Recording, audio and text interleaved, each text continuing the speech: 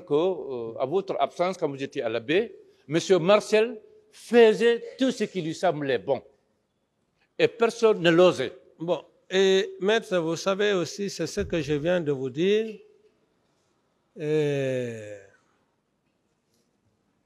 L'homme lui-même ne, ne peut pas dire absolument à 100% qu'il peut avoir la maîtrise de son propre enfant.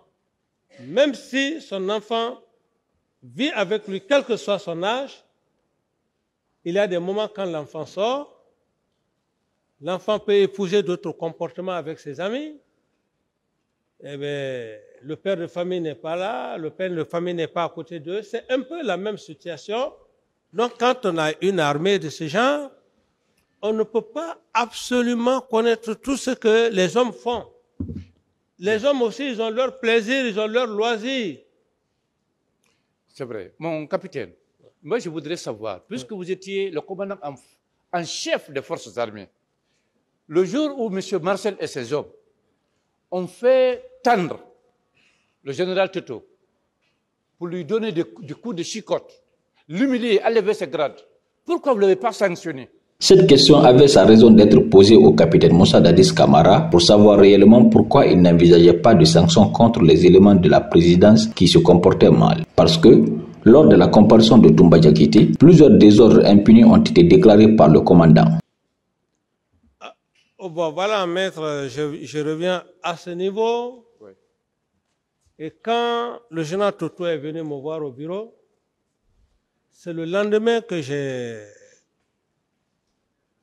j'ai créé un, rassemblement général. J'ai fait coucher tous les militaires pour demander pardon au général Toto. Parce que c'était vraiment, c'était indigne.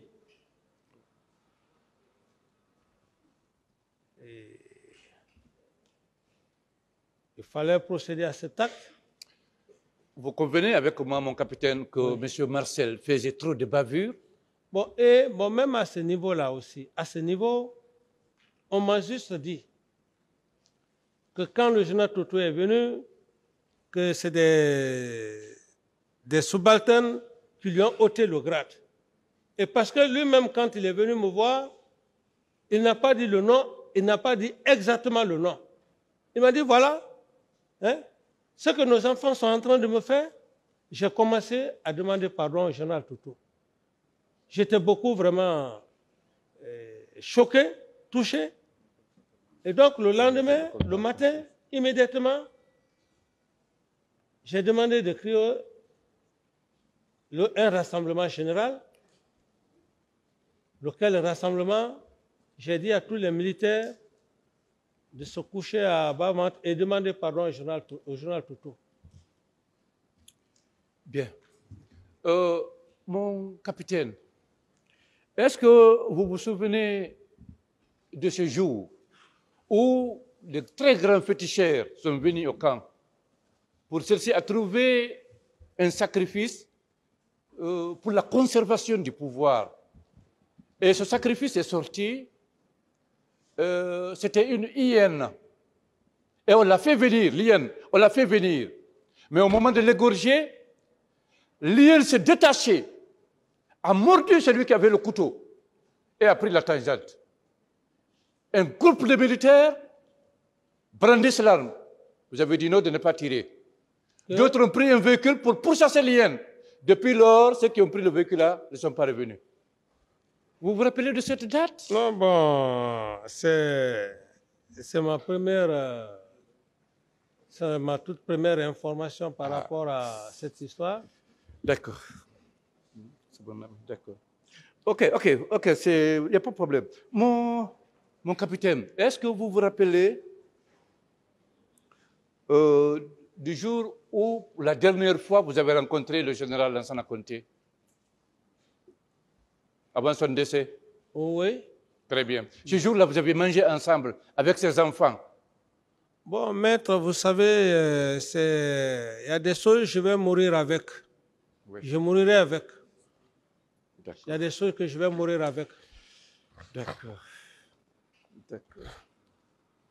et même le langage que le feu général Lansana Conté m'a dit, je mourirai, je mourirai avec ça. D'accord. Ok. Euh, mon capitaine, monsieur le directeur euh, du, du, stade, Ibrahima Sori Keita, a confirmé qu'effectivement, il y a eu le carnage, il y a eu les traces du carnage au stade 28 septembre.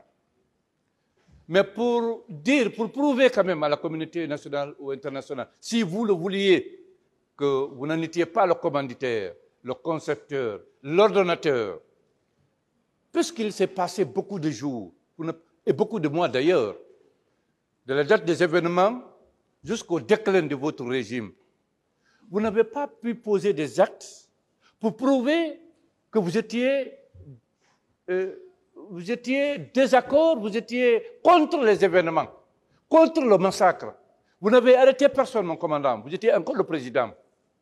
Vous n'avez limogé personne.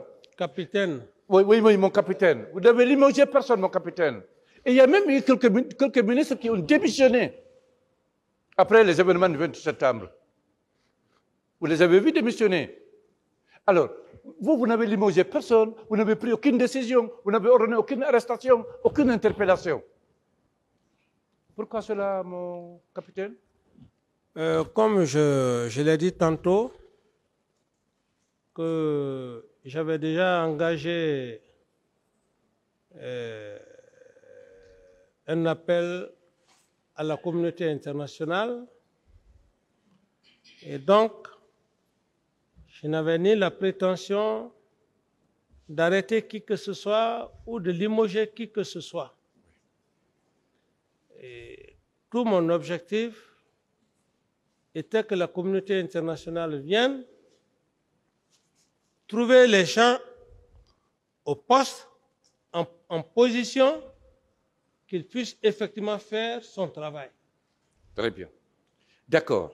Oh, mon capitaine, respectueusement, euh, puisque vous étiez le commandant en chef des forces armées, et, et, tous ceux qui sont sur le box ici aujourd'hui, c'est vous qui les avez nommés.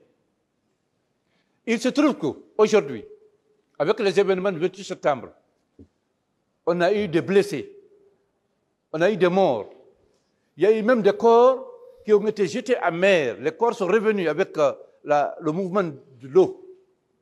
Les corps ont été ramassés de nouveau mis dans un bateau, jeté à haute mer. Il y a eu des fausses communes. Les camions qui contenaient les corps à Kamayen, à la résidence générale Lansana Conte, au Kansamori, on ne sait pas où se trouvent ces corps. Est-ce qu'aujourd'hui, mon capitaine, vous pouvez dire à un de vos responsables de nous montrer où se trouvent ces, ces, ces fausses communes, où se trouvent ces corps Aujourd'hui, est-ce que vous pouvez leur, dire de nous montrer, nous? Parce qu'aujourd'hui, le peuple de Guinée veut savoir. Puisque vous, vous étiez le commandant en chef. Est-ce que vous pouvez dire aujourd'hui où se trouvent ces corps? Voilà. C'est ce qu'il veut savoir. Euh, très honnêtement, c'est aussi les mêmes informations que j'ai reçues depuis bonne lurette, qu'il y a eu des forces communes, mais je ne sais où exactement se trouvent ces forces communes, Monsieur le Président. J'espère que vous avez aussi remarqué le style que Dadis utilisait lorsqu'on lui posait ces questions concernant Marcel Guilabogui. Il répondait sans précision, sortait même du cadre de la question. Et avec l'évolution du procès, j'ai personnellement déduit que c'est parce que Dadis ne voulait pas réveiller la bête dénonciatrice qui somnolait à Marcel. Malheureusement pour lui, c'est le contraire qui s'était produit.